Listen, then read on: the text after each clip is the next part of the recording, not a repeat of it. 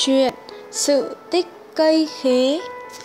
Ngày xưa ngày xưa, ở ngôi làng nọ có hai anh em mồ côi cha mẹ từ nhỏ, họ nương nhờ nhau mà khôn lớn, đến khi người anh cưới vợ, vốn tính tham lam, người anh muốn chiếm hết phần của cải nên quyết định phân chia tài sản mà bố mẹ để lại. Người anh nhận về phần mình, nào là ruộng vườn, trâu bò, nhà cửa, chỉ để lại cho người em một túp lều tranh và một mảnh vườn nhỏ. Trong mảnh vườn đó có một cây khế ngọt. Người em bản tính hiền lành, nhường nhịn nên không chút kêu ca, hàng ngày chăm sóc, tưới bón cho cây khế và đi làm thuê cho các gia đình giàu có khác để có tiền trang trải cuộc sống. Năm ấy, cây khế ở trong mảnh vườn của nhà người em rất sai quả, cành nào cành ấy cũng nặng chịu trái ngọt, vàng óng. Người em nhìn cây khế sai trái mà trong lòng phấn khởi vì bao công chăm bón cũng được đền đáp. Một hôm, có con chim lạ không biết từ đâu bay đến ăn khế. Thấy chim mổ khế ăn, người em liền cầm cây gậy để đuổi chim và bảo Này chim, ta chỉ có độc nhất một cây khế này mà ta đã khó nhọc trông coi đến ngày thu hoạch. Này nếu người ăn hết trái, ta chẳng có gì để bán đi lấy tiền đong gạo. Chim lạ vừa ăn khế vừa đáp Ăn một quả, trả cục vàng, may túi ba gang, mang theo mà đựng. Người em nghe thấy vậy cũng yên tâm để chim ăn khế, đúng như lời hứa. Mấy ngày sau, chim lại bay đến ăn khế, ăn xong, chim bảo người em lấy túi ba gang để chim dẫn đi lấy vàng.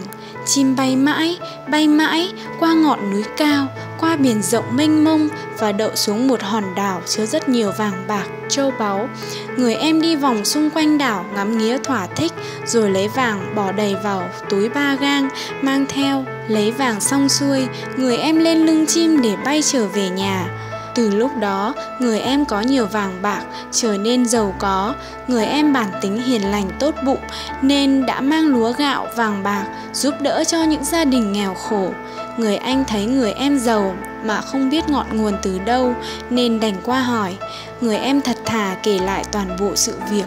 Nghe xong, người anh nổi lòng tham nên muốn đổi tất cả của cải để lấy cây khế và túp lều. Người em cũng đồng ý đổi cho anh. Khi thấy em mình đồng ý, người anh hí hửng thu dọn đồ đạc để chuyển sang nhà người em, mong chờ tới mùa khế sang năm, chim sẽ tới ăn khế và đưa đi lấy vàng.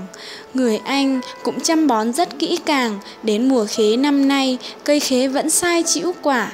Quả nhiên, chim lạ một lần nữa lại bay đến ăn khế. Thấy vậy, người anh cũng ra vẻ kể nghèo, kể khổ, khóc lóc kêu than với chim. Nghe vậy, chim liền nói, ăn một quả khế, trả một cục vàng, mày túi ba gang, mang đi mà đựng. Người anh mừng quá, sai vợ ra chợ mua một chiếc túi 12 gang để đựng được nhiều vàng. Cũng giống như người em, chim đã giữ đúng lời hứa bay tới đưa người anh đi đến đảo hoang để lấy vàng. Vừa tới đảo, người anh đã vội vàng vơ thật nhiều vàng vào túi cho đầy. Chưa hết, người anh còn dắt thêm vàng vào xung quanh người. Xong xuôi đâu đó, người anh leo lên lưng chim để trở về nhà. Nhưng vì túi quá nặng, cộng với gặp bão, gió thổi mạnh, mấy lần chim bảo người anh vứt bớt vàng đi cho nhẹ.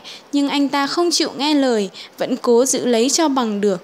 Chim bay trong bão, mưa như chút nước, đôi cánh trao đảo. Người anh vì quá tham lam ôm chặt lấy túi vàng mà không bám được vào thân chim, nên gió đã cuốn rơi người anh xuống biển.